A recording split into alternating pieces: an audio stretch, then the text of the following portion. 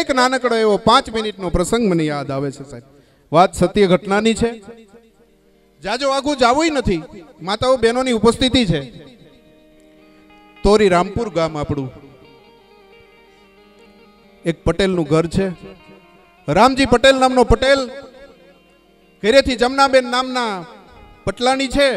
એક જ દીકરો છે, પણ કનૈયા કુંવર જેવો દીકરો છે ને દીકરાનું નામ છે ડાયો. પણ ડાયો છે ને ભાઈ? એટલો ડાયો છે ગામ આખામાં વખાણ થાય.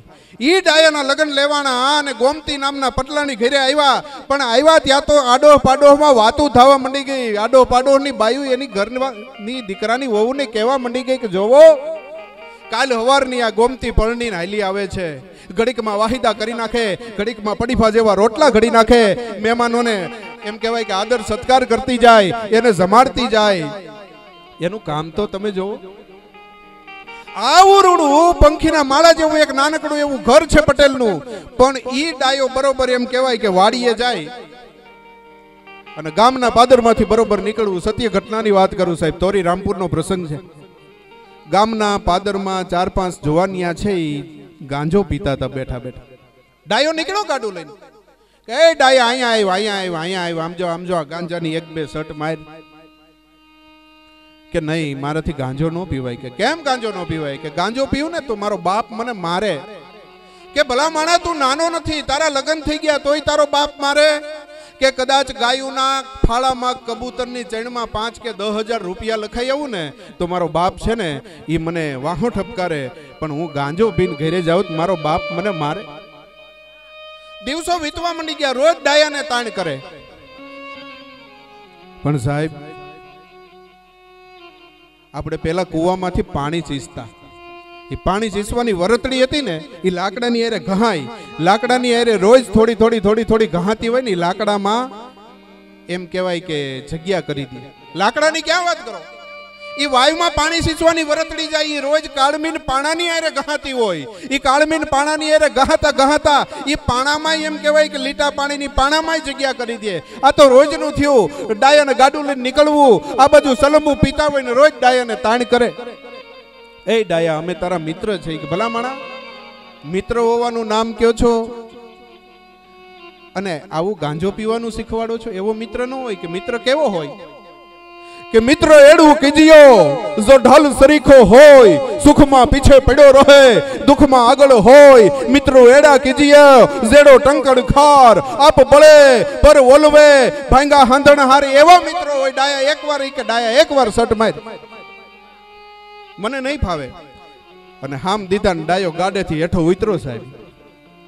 લે લે લે લે કરીને ગાંજાની સલમો દીધી. અને તોરી રામપુરના પાદરમાં ડાયા નામના પટેલના દીકરા એ સલમ છે એ પોતાના મોઢા ઉપર મૂકી ખબર નહોતી કેટલી ખેંચવાની હોય. અને જે ખેંચી ઉપર ભડકો થઈ ગયો, પણ એ ચલમમાં ભડકો નહોતો થયો સાહેબ.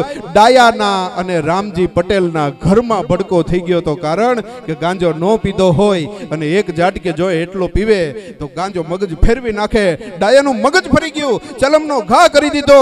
એમ જેમ આવે એમ બોલવા મંડી ગયો. ખબર ન રહી ક્યાં છું, કોણ છું, હું છું. અને ઓલા લોકોને એમ થયું કે આ ડાયાને ગાંજો લાગી ગયો, કરવું હું?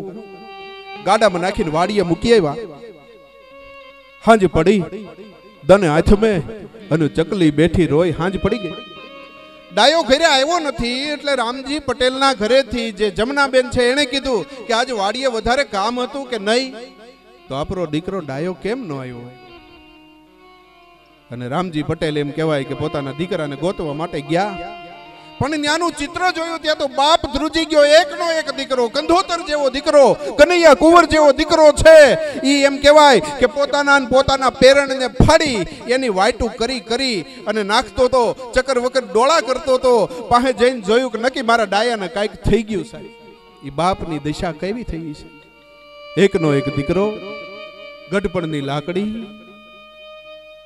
ડાયા ડાયા બેટા, તને થયું હું કઈ જવાબ નથી દેતો. ઘડીકમાં હસવા મંડી જાય, ઘડીકમાં રોવા મંડી જાય, ઘડીકમાં ચક્કર વકર ડોળા કરે, ઘડીકમાં પોતાના પોતાના વાળને તોડી લે અને ફેંકવા મંડી જાય. કરવું હું અને થયું હું અને ડાયો છે એ બુઢા બાપના ખોળામાં માથું નાખીને રોવા મંડી ગયો સાહેબ. પોતાના ખોળામાં પોતાનો એકનો એક કંધોતર ગાંડો થઈને રોતો હોય છે અને એ આહુડા જે બાપના ખોળામાં પીડ્યા અને એ આહુડાની જે વેદના થઈ હોય ને એ માટે તો રામજી પટેલ બનવું પડે સાહેબ એ વેદનાને અનુભવી હોય તો. દીકરાને ગાડામાં નાખીને ઘરે લઈ આવ્યા. આખું ઘર મુંજાણું છે. માને એમ થયું કે મારો એકનો એક દીકરાની આવી દિશા આવી. ગોમતીને એમ થયું કે હજી હમણાં જ આ પટેલને પરણીને હાલી આવીશું મારો પટેલ ગાંડો થઈ ગયો. ત્રણ ત્રણ દિવસ જ્ઞાન, ત્રણ ત્રણ રાત ગઈ. દાયાને ખાટલામાં બેહાડ્યો છે, હુવડાવ્યો છે ને બધાય જાગે છે સાહેબ. પણ માણસનું શું ગજવું છે? પછી તો નિંદર પથ્થર ન ગણે આ બાજુ રામજી પટેલ ત્રણ દિન, ત્રણ રાતના ઉજાગરે એમ કહેવાય કે ઢળી પીડ્યા છે. આ બાજુ માં જમના છે, એને જોકું આવી ગયું છે. આ બાજુ ખાટલાની પાંગીતે માથું રાખેલી ગોમતી નામની પટલાણીને નીંદર ચડી ગઈ અને બધાયને હુતેલા બાળીને ડાયો દોઢ દિન ભાગી ગયો. હવાર થયું, નિંદર ખુલી. ગોતવા નીકળી ગયું આખું ગામ કે ડાયો ક્યાં વયો ગયો? ડાયો ક્યાં વયો ગયો? સાહેબ, જડતો નથી હો. પછી તો બુઢો બાપ છે. એ ત્રીસ ત્રીસ વર્ષ જૂના ઊંડા કુવામાં પડીને જેમાં કબૂતરની ચરીકું હોય, જેમાં પારેવાના માળા પડી ગયા હોય, એમાં અંદર પડી પડીને જોવે છે કે મરેલાનું મોઢું જોઈને એને એક અગ્નિદાહ કરી દીધો હો. મારા દીકરાને ક્યાંય મળ્યો નહીં. હવે શું કરવું? ધીમે ધીમે સમય વીતો. ગોમતી છે એને એના ઘરે લઈ ગયા હો રામજી પટેલ. અને ગોમતીના બાપને કીધું કે, પટેલ, મારો દીકરો તો ગાંડો થઈ ગયો. મારો દીકરો તો ક્યાંક વયો ગયો. પણ લ્યો આ તમારી દીકરી.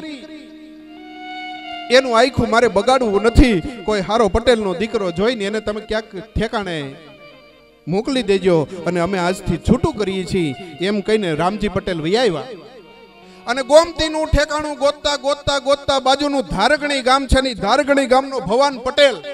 આધેડ ઉંમરે ઘરભંગ થયેલા. પણ ભવાન પટેલ એટલે પાંચમાં પૂછાય એવો પટેલિયો, ઘરનો રોટલો મોટો. એનું માગું આવ્યું, સ્વીકારી લીધું અને ટૂંકમાં વાત કરું તો ગોમતીનું ઘરઘણું ભવાન પટેલની હારે કર્યું અને ભવાન પટેલના ઘરના રોટલા ઘડવા માટે ગોમતી નામની પટલાની ગઈ છે. જેમ હરિદ્વારના ગંગાજીના પગથિયા ઉપર ગંગાજીના પાણી ગળથોલિયા ખાઈને વ્યા જાય એમ છ, આઠ મહિનાનો સમય આ પ્રસંગની ઉપરથી વયો ગયો.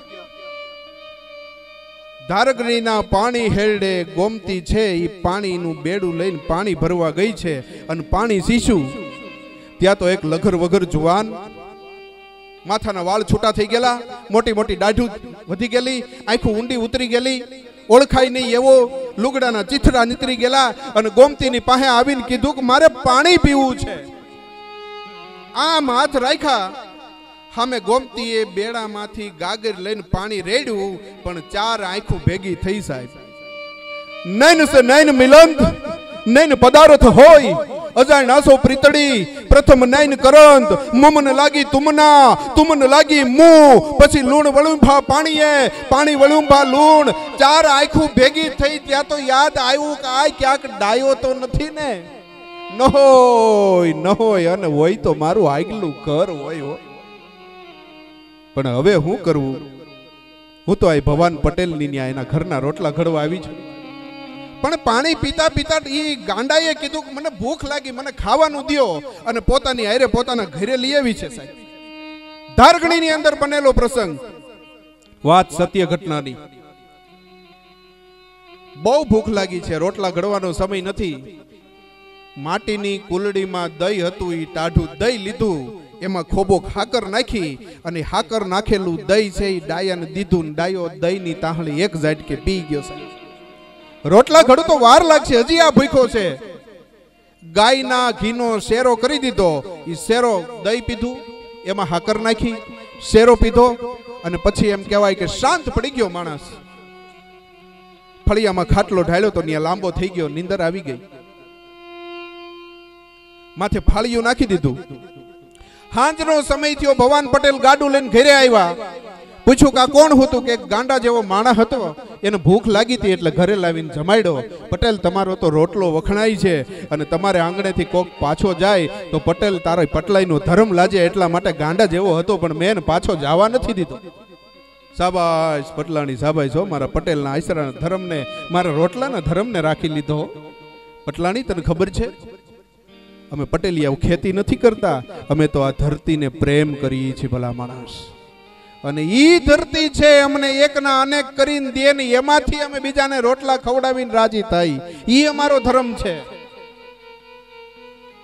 કાંઈ વાંધો નહીં. ગાડું ઉતારતી હતી, ગોમતી ની. એને ભવાન પટેલે કીધું કે મારો ખાટલો ફળિયામાં રાખજે. પટેલ કેમ કે આ કોક ગાંડો બનીને આવ્યો હોય ને, રાતમાં બળદિયા છોડીને વયો જાય. એના કરતા અહીં બહાર હોવું સારું. આ બાજુ નીંદર લાગી ગઈ છે, પણ ગોમતીને નીંદર નથી આવતી. મારું આગલું ઘર છે, પણ હવે તો હું મારા બાપે મને ભવાન પટેલની ત્યાં મોકલી દીધી.